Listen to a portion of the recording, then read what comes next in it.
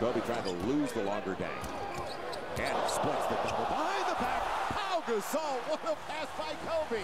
That was a beauty. That was nice. That was nice. I mean, Kobe put on a real show and gets the assist on that possession.